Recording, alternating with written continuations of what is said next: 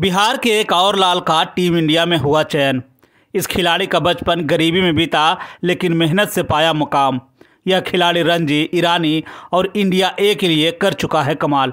अब अपनी रफ्तार से टीम इंडिया को दिलाएगा खिताब। भारतीय क्रिकेट टीम में बिहार के एक और बेटे की हुई एंट्री। बिहार का लाल बल्लेबाजी के साथ ही गेंदबाजी में भी दिखाएगा कमाल।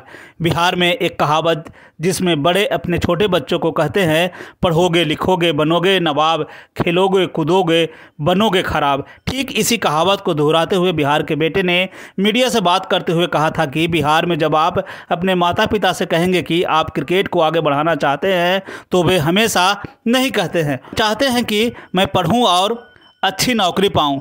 आज हम बात करने जा रहे हैं एक ऐसे खिलाड़ी के बारे में जिसका चयन इंडियन टीम में हुआ है। आज हम बात करने जा रहे हैं बिहार के लाल मुकेश कुमार के बारे में। मुकेश कुमार का चयन भारतीय टीम में हुआ है।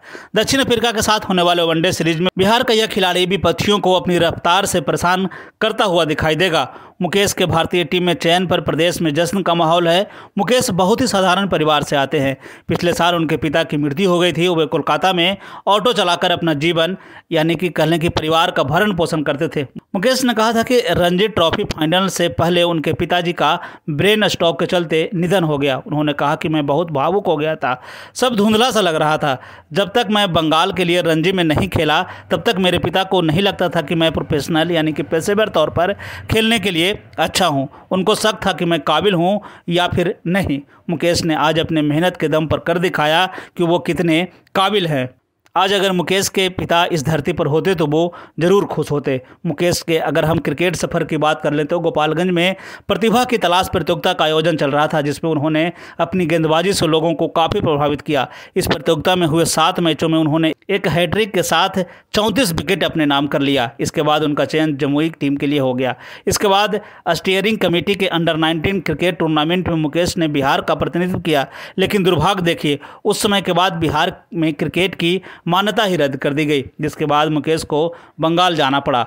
लेकिन जब वे बंगाल गए तो उन्होंने पीछे मुड़कर कभी नहीं देखा। मुकेश का प्रदर्शन रणजी ट्रॉफी में शानदार रहा।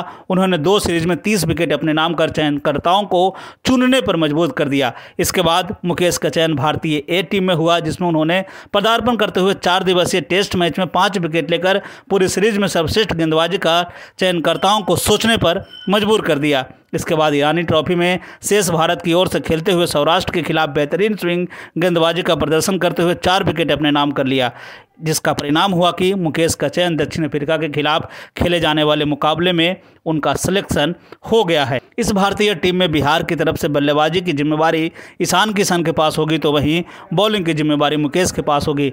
यह पहली बार होगा जब बिहार का दो खिलाड़ी एक साथ टीम इंडिया के साथ खेलते हुए दिखाई देगा। भारत और दक्षिण अफ्रीका के साथ खेले जाने वाले मुकाबले में यह पहला मुकाबला 6 अक्टूबर को खेला जाएगा, उसके बाद दूसरा मुकाबला 8 अक्टूबर को और तीसरा मुकाबला 11 अक्टूबर को खेला जाएगा। ऐसे में हम उम्मीद करते हैं कि मुकेश कुमार इन तीनों ही मुकाबलों में खेले और एक बेहतरीन प्रदर्शन करे और अपनी गेंदबाजी का मुशायरा करे, जिससे कि भारतीय टीम में उनका आगे का प्रदर्शन जारी रह सके।